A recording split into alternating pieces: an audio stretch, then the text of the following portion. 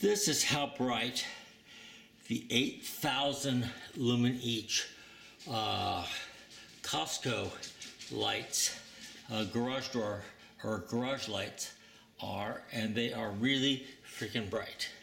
They really are.